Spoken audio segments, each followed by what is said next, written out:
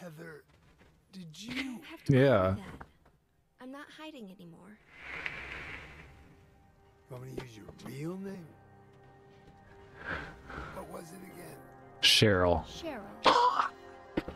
the name my father gave me. We did it. It, Let your hair color go back too.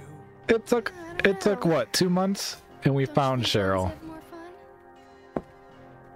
We saved Cheryl. It took three games, over a month, two months.